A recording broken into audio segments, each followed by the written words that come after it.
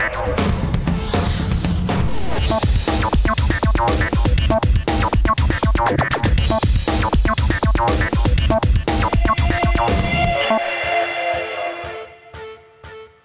Dobrodošli u još jedno posebno izdanje emisije Autoservis. Ovoga puta radimo ga u suradnji sa Renault Hrvatska. Naime, jedno smo čekali trenutak kada će i na njihov Zoe potpuno električni automobil stići hrvatske tablice, pa da se lagano pozabavimo temom e-mobilnosti, poglavito e-mobilnosti ovdje u Hrvatskoj. Znam da ima jako puno nevjernih toma, ima jako puno oni koji su protiv električnih automobila, koji misle da u Hrvatskoj još uvijek nije primjeren trenutak za prodaju i pravu eksploataciju ovakvih vozila. E pa mi ćemo danas kroz 30 minuta pokušati ispitati gdje smo mi točno i se kupiti danas u Hrvatskoj električni automobil. A Renault Zoe, auto koji je već nekoliko godina na tržištu, je napravio jako, jako dobar uspjeh. U ostalom Alijansa Renault Nissan je vodeća po pitanju električnih e, automobila, odnosno e-mobilnosti u svijetu. Ne znam jeste li znali podatak, ali svaki četvrti prodani električni auto u Europi je upravo Renault Zoe. Nakon redizajna dobio je i opciju sa većom snažnijom baterijom koja mu omogućuje po standardnim mjerenjima dosego čak 400 km, a to je već prilično ozbiljna stvar. Ispitat ćemo ga u svim mogućim uvjetima i reći vam kako izgleda realnost u Hrvatskoj za volanom električnog automobila. Renault se nije žurio s uvođenjem game električnih vozila u Hrvatsku. Iako su sa Zojem, električnim kanguom te Tvizijem već napravili vrlo solidan posao po Europi, u Hrvatskoj su prvo temeljito ispitali teren. Tako se Zoe tek nakon redizajna nudi kod nas, a Kangoo stiže s cijenom koju konačno možemo proglasiti i pristupačnom za jedan električni automobil. Istina, povratak subvencija za kupnju električnih vozila koje su izostale posljednje dvije godine zacijelo bi povećao interes tržišta, no benefiti koje donose Zoe i Kangoo i bez subvencija su zaintrigirali poklonike e-mobilnosti. Kako je e-mobilnost u Hrvatskoj doista u povojima na tesnu vožnju električnih Renaulta ne možete krenuti u bilo koji salon, jer za početak Renault je odlučio dati ovlaštenje za prodaju i servisiranje električnih vozila tek jednom dijelu svoje mreže. Autokući Baotić iz Zagreba, Autocentru Kos iz Varaždina, Autocentru Poreć iz Poreća te Autokući Gašperov iz Splita. Mi smo se pak za potrebe ove emisije na duži rok podružili sa Zoijem i evo naših iskustava. Po samome uređenju Zoe ne otkriva nekakav jako veliki futurizam kao što to rade neki drugi proizvođači automobila koji čak i dizajnom automobila žele naglasiti tu nekakvu drugačiju orijentiranost. Ovdje je sve vrlo bazično, vrlo jednostavno, iako materijali koji se koriste u kabini uopće nisu loši. Zoe je tipičan kompaktni gradski auto koji dolazi s prtlježnikom od 338 litara, pa je kao takav trenutno najprostraniji u klasi dimenzijama gotovo istovjetan popularnom Clio jer dugačak je 408 cm i mogli bismo reći da je Zoe na neki način njegov električni alter ego. I zato oblik ručice mjenjača, ventilacijski otvori i volan plastike, da, nemojte se čuditi ako vas to neodoljivo podsjeća na rješenja iz Klija. Tako i treba biti jer ovo je 100% električno vozilo s kojim prelazak na potpuno novi oblik pogona neće biti kompliciran niti jednom vozaču. Gradska vožnja. Gradska vožnja, grad Zagreb.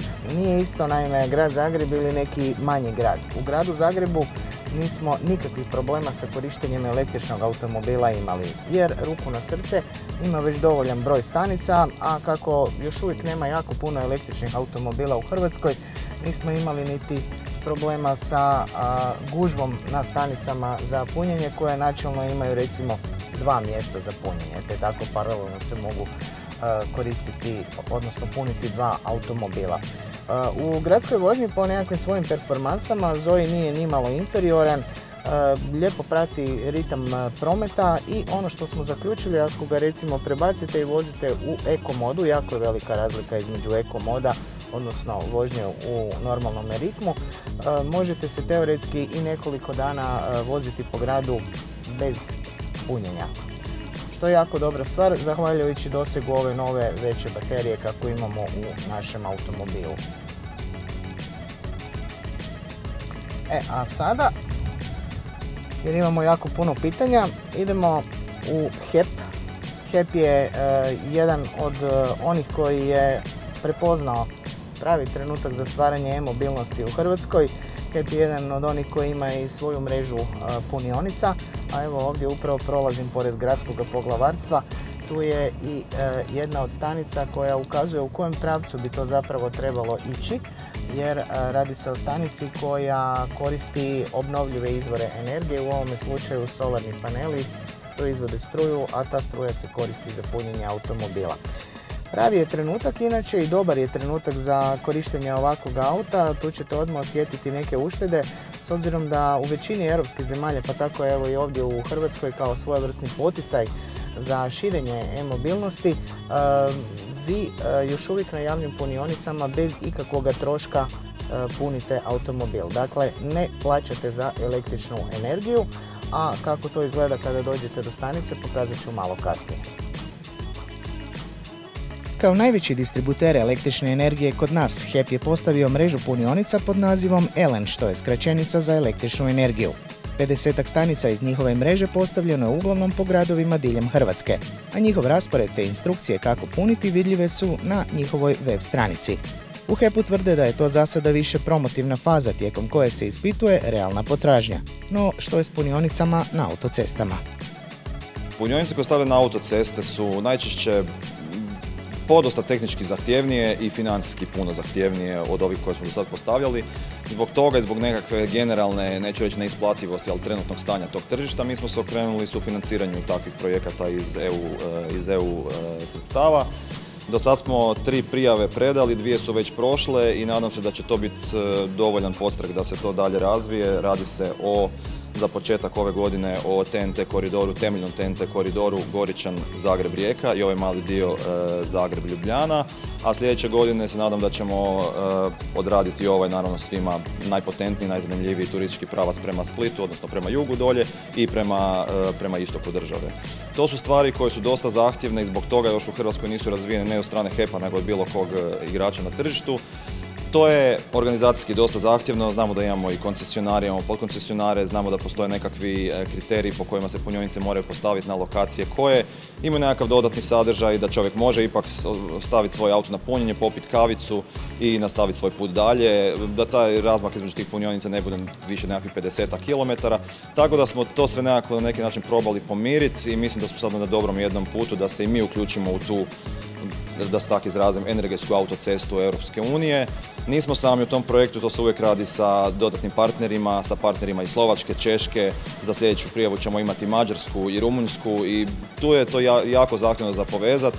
Puno interesa postoji i ljudi su okrenuli tim EU, EU, sredstvima da se to na takav način pokrije. Mi da će Hrvatska veoma brzo imati ovoga, jedan optimalan broj tih punionica i po autocestama. Mnogi zaziru od električnih automobila radi vremena koje je potrebno za punjenje baterije, jer za razliku od klasičnih automobila čije spremnike napunite za nekoliko minuta, u ovom slučaju čak i punjenje na najbržim, odnosno najjačim punionicama traje i do sat vremena, dok u kućnoj varijanti ponekad nije dovoljna niti cijela noć, kada je najisplativije puniti bateriju. Iako na javnim punionicama ne plaćate za električnu energiju, neki od vlasnika, poput onih u hotelima, naplaćuju po vlastitim tarifama uslugu punjenja.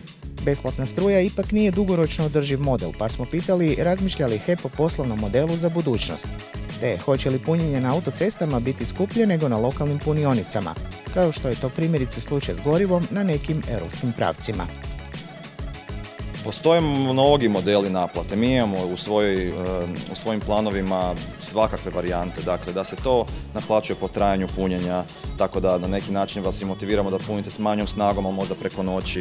Eh, po angažiranoj snazi, eh, čak i po lokacijama, nije rijetkost ni za, ni za električna vozila, odnosno za punjenice električnih vozila da na autoputima to bude mrvicu skuplje ili čak nekakva fiksna cijena punjenja u odnosu na punjenice koje imate po gradskim parkinzima. Jer velim, Puno je različitije koristiti punjonicu od 50 kW koja ima veliku e, snagu i može, može povući na DC strani veliku snagu i ove punjonice koje, ajde da ih nazovemo kvartovske, koje ovoga ipak nemaju toliki udar na elektroenergetski sustav, ali ne samo sa strane HEP-a, nego sa strane bilo kojeg pružatelja usluge postoje skuplje i jeftinije punjonice, na kraju čovjek mora nekakvu tu računicu napraviti i e, na kraju bi trebalo, trebalo to sve skupa biti isplativo i motivirajući da se to dalje razvija. E, trenutno vam je situacija takva da ćete jedno vozilo za nekakvih 100 km, ako prođete s benzinom ćete, ne znam, platiti 70-80 kuna koliko već košta litra goriva, a recimo ako se punite doma na kućnoj utičnici preko noći, to će vas ispast, ajde recimo desetak, 11, 12 kuna. Tako da je već sad to nekakva, nekakva ovoga konkretna razlika. U budućnosti, ako hoćemo da u gradove e, puno više stavimo električnih vozila nego ovih konvencionalnih, ta će se cijena izjednačiti. Moramo biti svjesni da se, da se to na takav način razvija, da nije cilj da sad mi se vozimo svi besplatno, nego da na jedan način tu svu regulativu pratimo, da smanjimo onečišćenje u gradovima, da smanjimo onečišćenje bukom, što je dosta bitno u elektromobilnosti. I na kraju će ta cijena, može će se čak i tržišno razviti, može će se čak regulatorno razviti i vjerojatno će se približiti trenutnim cijenama e, recimo normalnog goriva ili normalnog e, prelaska nekakvih 100 stotinja kilometara što je specifični ovoga, specifični način obračuna. Ako počnete istraživati, shvatit ćete da električna vozila opisuju neki novi parametri i mjerne jedinice. Nema više konjskih snaga i potrošnje u litrama. Tako Zoe u prodaju dolazi s dva različita električna motora. Prvi je oznake R90 i snage 68 kW, odnosno 92 konjske snage, dok je drugi noviji Q90 slabiji 3 kW. U čemu je onda razlika, pogotovo kad znamo da oba trenutno od pokretanja razvijaju okretni moment od 220 Nm i postižu gotovo identične performanse. Noviji motor značajka redizajniranog Renault Zoe, iako je malo slabiji, opremljen je snažnijom litij-ionskom baterijom Zero Emission 40 kapaciteta 43 kWh, što je gotovo dvostruko više od klasične baterije kapaciteta 22 kWh. U oba slučaja Zoe je napravio iskorak u svakodnevnoj upotrebljivosti, a pomažu i napredna rješenja poput toplinske pumpe. Ljeti ona u funkciji klima uređaja, a zimi služi kao grijač protiv niskih temperatura, koje su najveći neprijatelj dosega kretanja električnih vozila. Tu je i regenerativno kočenje koje za razliku od klasičnih motora s unutrašnjim izgaranjem sada napokon ima gdje spremiti i iskoristiti električnu energiju proizvedenu inercijama. I zato nije nimalo čudno što će Dobran izbrdica obnoviti do 10% kapaciteta baterije. Što se tiče samog osjećaja snage u električnom automobilu, ovaj konkretno ima 92 konjske snage kao i kod svih električnih e, automobila. E, ako se ne vozite u eko modu, osjećaj ubrzanja je nevjerojatan jer to je raspon od nekakvih 3000 pa do skoro 11.000 okretaja.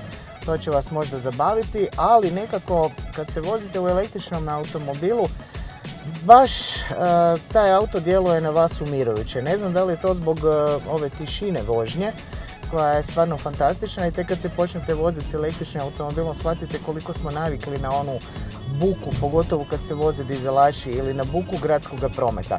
Ma zamislite samo kada bi recimo 50% voznog parka u gradu Zagrebu bilo električno, koliko bi se smanjilo ne samo zagađenje u smislu štetnih emisija, već isto tako koliko bi se smanjila buka. Dakle, buka je još jedna od stvari koju električni automobili eliminiraju. Čula su se ovih dana predviđanja da će povećanje broja električnih vozila, uvođenje autonomne vožnje te car sharing prijevoza potpuno promijeniti model funkcioniranja autoindustrije i naše korištenja vozila. Odnosno, u budućnosti zapravo nećemo ni posjedovati automobile, već ćemo naručivati vožnju kada nam treba. Iz svega toga nameće se ideja o cijelom nizu novih poslova vezanih za e-mobilnost, a neki veliki igrači već su prepoznali taj trend i priključili mu se. Primjerice, Hrvatski Telekom koji je vlasnik mreže punionica puni.hr.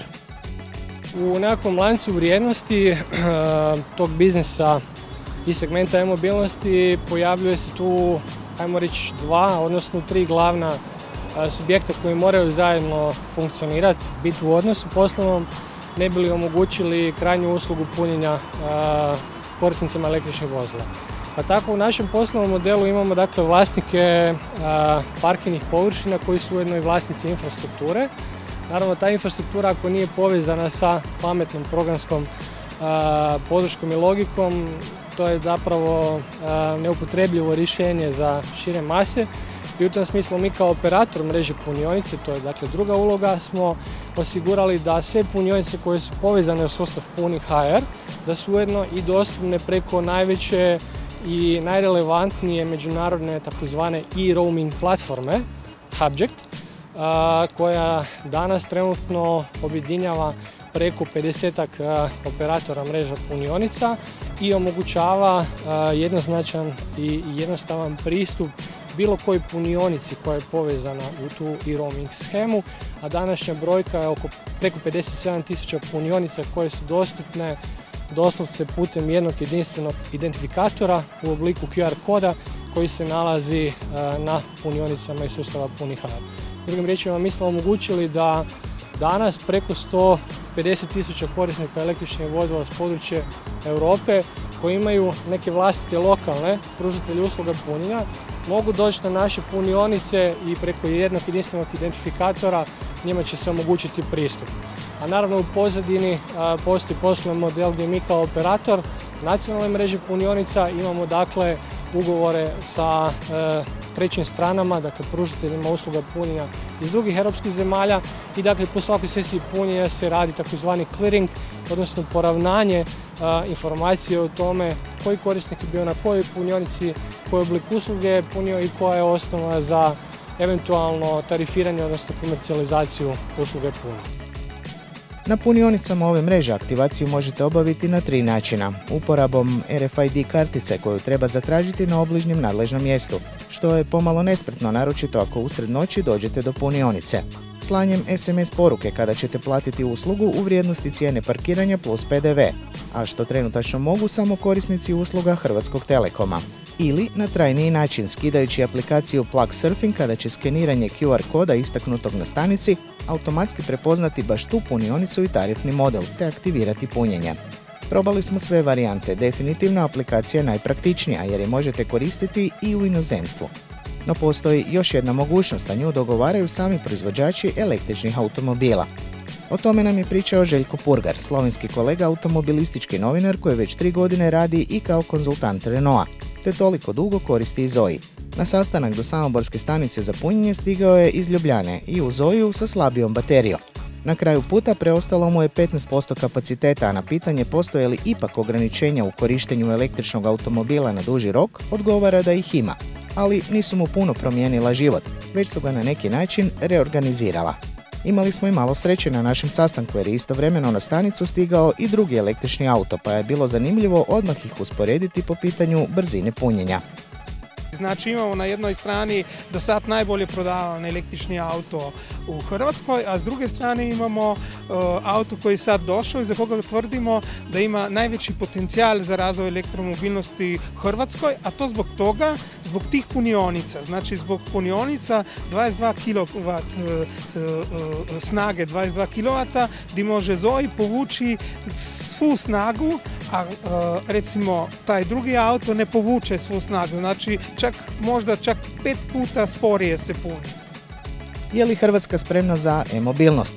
Purgar smatra da jest. Primjerice, imamo sličnu situaciju kao i u Sloveniji kada pogledamo broj električnih vozila i broj stanica, no one su kod susjeda ipak malo bolje raspoređene jer su pokriveni pravci po autocestama u optimalnim razmacima po 50 km, a i na ulicama gradova sve je više brzi punionica. U Zagrebu ih također ima, no njihov raspored često nije logičan. Olakšica je što korištenjem aplikacije Plug Surfing lako stječete uvid u raspored i raspoloživost punionica, te udaljenost među njima. Kao svijetle primjere u Hrvatskoj ističe Varaždin, Koprivnicu te otok Krk. Jedan iznimno svetli primjer je Krk, otok Krk, gdje imate deset punionica i, baš te punionice, znači iste su kota, gdje može, uh, znači u jednom trenutku bi mogli biti na Krku 20 električnih auta priklopljenih i prošle godine u jednom trenutku se na tih 20 priključka punilo 12 Tesli S. Znači da imamo mogućnost da su u tom trenutku bili na tom otoku 12 korisnika električnih automobila za koje su platili više od 120 tisuća eura. Znači, to su ti gosti koji Hrvatska kao neka destinacija priželjkuje. Znači i to je onda i dokaz što to znači razvoj elektromobilnosti ne samo za, za Hrvate, tako nego u, u širom kontekstu gospodarstva i turizma. Po Purgarovim iskustvima i kalkulacijama ispada da je kupnja električnog zojija najisplativija onima koji dnevno prevaljuju i do 200 km, jer tada će najviše uštediti na cijeni energenata te najprije vratiti još uvijek nemalo ulaganje u sam automobil. S druge strane i sam Renault razvija takav poslovni model koji će donijeti još više benefita korisnicima njihovih vozila. A A zašto je to plus? Jer će se za uh, cijenu uh, uh, usluge i električne energije neće se dogovarati svaki poslovno kao kad uzmeš karticu, nego će se na nivoju Europe Renault dogovarati sa svima za posebnu cijenu onih koji imaju njegovu karticu. Znamo da je Zoe najprodavani električni auto u Europi, znači ta će tarifa biti jako povoljna za, za vozače Renaultovih automobila. A kakav je Zoe na autocesti? Evo danas smo napravili mali eksperiment, krenuli smo na kraći izlet od Zagreba do Ludbrega.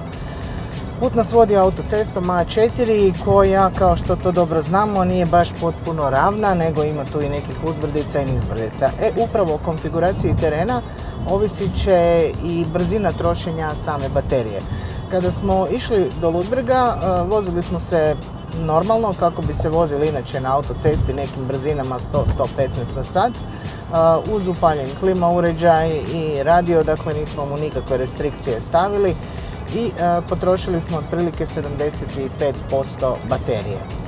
E, a sad smo odlučili u povratku napraviti nešto drugo. Dakle, vozimo se u eko modu.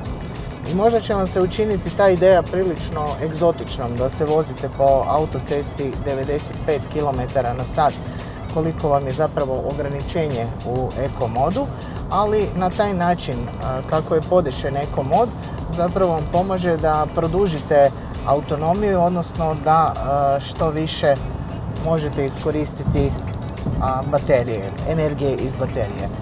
Jedino ograničenje ovako malo je nezgodno ovako kad se vozimo, kada naiđete na kamion koji se vozi prosječni 90 na sat, onda s vaših 95 to preticanje traje i traje. Hoću reći, možda ćete zasmetati ostalim sudionicima u prometu dok konačno riješite taj kamion, ali na kraju ga ipak riješite. Također, na uspanima smo primijetili da se puno brže potroši energija iz baterije, ali zato na spuštanjima na spuštanjima uživamo u blagodatima regenerativnog punjenja baterije, dakle i dalje se krećući ovom ograničenom brzinom. Sve u svemu baš me zanima kad stignemo u Zagreb koliko ćemo potrošiti baterije usporedbi sa putom prema Ludbregu. Priznajemo, u lovu na što dulji doseg osjećali smo se i poprilično avanturistički, a put do Ludbrega pokazao je sljedeće. Do Ludbrega 75% baterije, u povratku 35%, pa je već iz ovog jasno kolika je razlika ukoliko koristite Eco Mod. Pokušali smo i eksperiment s vožnjom po A6 od Zagreba do Rijeke, a čak i tu dionicu s puno dugih uzbrdica moguće je prijeći bez problema s jednim punjenjem.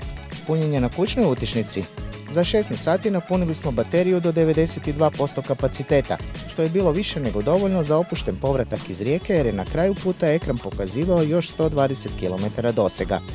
Put do nije slučajno odabran, naime tamo od 2002. godine radi tvornica Ducati Komponenti, koja kao dio velike talijanske grupacije Ducati Energia s pogonima u Brazilu, Argentini, Indiji, Italiji, Rumunjskoj i Hrvatskoj uz osnovnu djelatnost proizvodnje generatora, rotora i statora proizvodi još oko 10.000 različitih električnih proizvoda. 96% onog što proizvodi 140 zaposlenika izvozi se, a za domaće tržište između ostalog proizvode i nekoliko tipova stanica za punjenje. Među njima su i one koje možete kupiti te instalirati u vlastitu garažu. E, slijedom tržišnih zahtjeva Ducati Energia, naša matična firma iz Bolonje, počela s razvojem prvih stanica. E, prva od njih je razvijena e, u Bolonji. Trenutno je najnovija 22 plus 22 kW koje, smo prodajemo i HEP-u preko tendera koji smo dobili prije dvije godine. I ona je najnoviji model.